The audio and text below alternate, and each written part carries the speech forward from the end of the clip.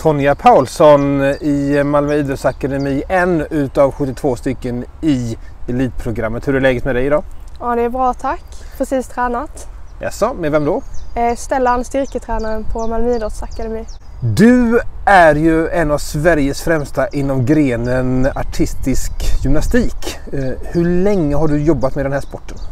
Eh, jag började på artistisk gymnastik när jag var åtta år. Så det blir väl 12 år snart. Hur kommer man in på det? Ja, personligen så var det bara min granne som såg mig på en lekplats som tyckte jag var smidig och snabb så då kom jag in på det spåret. Okej, vad var det han såg hos dig då? Jag antar att jag såg stark ut, jag vet inte riktigt. När föll du för sporten? Eh, första träningen när jag var åtta. Direkt så tyckte jag det var skitkul och såg liksom inget annat som skulle passa mig lika bra. Vad är det som gör att du trivs så himla bra med just den grenen? Det är en väldigt komplex sport så man måste vara bra på allt. Stark, smidig och verkligen ha ett starkt psyke också. Hur mycket tränar man? Ja, mellan 20 och 30 timmar, lite individuellt. I veckan? Ja, Okej, då är du snart uppe i dina 10 000. ja exakt. Jag tror redan jag är förbi.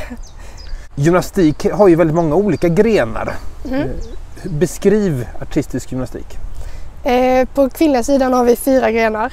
Eh, den ena heter hopp och sen har vi bar, bom och fristående. Eh, bommen är väl den som är mest känd, den som är 10 cm bred och som man gör volter på. Eh, också svårast att tävla för att man blir darrig och skakig. När kom du på att det här är någonting jag är ganska bra på? Jag märkte det ganska sent. Jag tror första tävlingen jag tävlade så var jag nog i topp men jag kände ändå inte att jag var jättebra.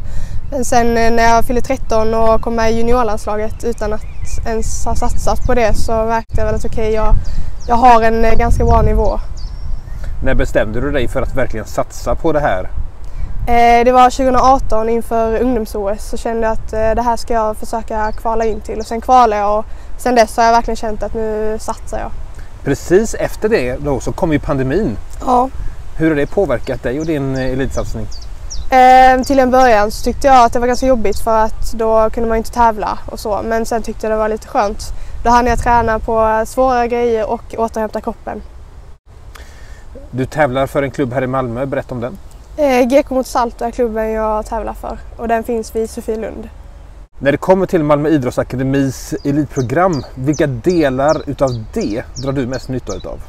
Eh, jag har fått väldigt bra hjälp av eh, Stellan som är styrketränaren. Eh, men även Sverker, idrottspsykolog. Hur jobbar du och Stellan tillsammans? Jag kommer hit till eh, centrat eller vad man säger och styrketränar en gång i veckan och snart två, tre gånger. Det beror på vad som behövs. Och när det kommer till Sverker då, med den mentala träningen, kan jag tänka mig att det är väldigt, väldigt mycket att prata om och hantera när man är en sån pressad idrottare som du är och Mm. individuell. Mm. Nej, Sverker har hjälpt mig jättemycket. Speciellt eh, nu har jag en ganska jag har en sämre period. Jag är skadad och så. Så det behövdes alltså så att jag får prata av mig och få hjälp med att inte liksom få en för mycket dipp. Eh, berätta om din skada. Ehm, Min knäskål har hoppat ur led eh, och det är tredje gången så jag är väl lite trött på den skadan. Men jag känner väl att jag får hjälp från Malmö Idrottsakademi att återhämta mig snabbare. På vilket sätt då? Eh, Både mentalt, prata med Sverker men även att jag nu kan köra överkroppsträning med Stellan. Hur jobbar man mentalt med den träningen när man är en sån elitidrottare med mycket press som du är? Ja, det är väl olika från person till person men jag får mycket hjälp med liksom att inte prata ner mig själv och ja, men, säga taskiga saker till mig själv utan mer att jag kan liksom mina grejer. Så när jag tävlar så är jag där för att jag vet att jag kan det jag ska göra. Malmö Idrottsakademi har ju väldigt många olika eh, resurser. Vilka andra har du använt genom åren?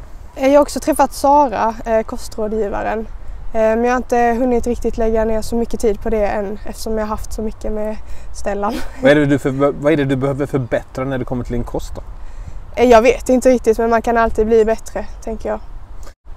Är du en sån här idrottare som har ett långsiktigt mål? Ni gymnaster brukar ju ha det. Mm. Ja, jag har ju att jag vill eh, tävla OS nästa år men det är inte mitt sista OS heller. Jag vill ju tävla 2028 också och kanske fortsätta efter det. Paris 2024 alltså. Hur tar man sig till ett OS? Eh, man måste ju kvala från ett VM och eh, först måste man kvala från ett EM till ett VM.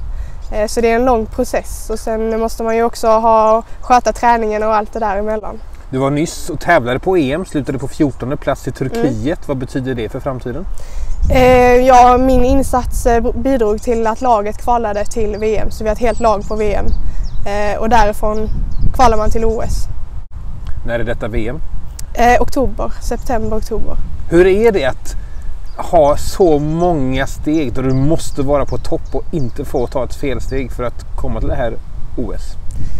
Det, det är svårt men samtidigt är det kul för att det, alla har den processen och det är också kul att få lov att tävla till EM och ett VM innan man kommer till ett OS. Jobbar du också med sådana här små mål i vardagen eller är det bara Paris 2024 som står liksom i taket när du går Jag dig? försöker men det är svårt tycker jag att ha sådana kortsiktiga mål. Eh, Men det är det Sverker hjälper mig med just nu. Elitidrottare har sällan möjligheten att fokusera 100% på sin sport. Vad gör du vid sidan av din eh, satsning mot OS 2024? Eh, Jag jobbar några timmar eh, i en grönsaksbutik eh, för att inte bara snöa ner mig i gymnastiken. Okej, vad har du för favoritgrönsaker? Oj, den är svår. Kanske tomat? Tomater alltså. Ja, bra det, men kommer kom, kommer på andra plats då? Ja, jag vet inte. Jag gillar bara en sallad generellt. Grekisk sallad. Okej, Så det, alla. det lät fint. Ja. Favoritmusik?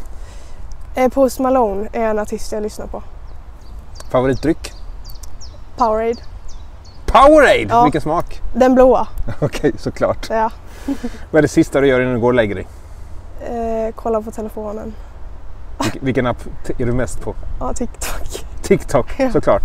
Du har en ledig dag och ska spendera den i Malmö. Mm. Vart går du? Eh, nu när det är bra väder så förmodligen stranden, Ribbesborg. Eller Scaniabadet. Annars är jag väl mest hemma. Träffa kompisar. Du, eh, lycka till med tomaterna, med satsningen mot OS och allt annat. Tack så mycket.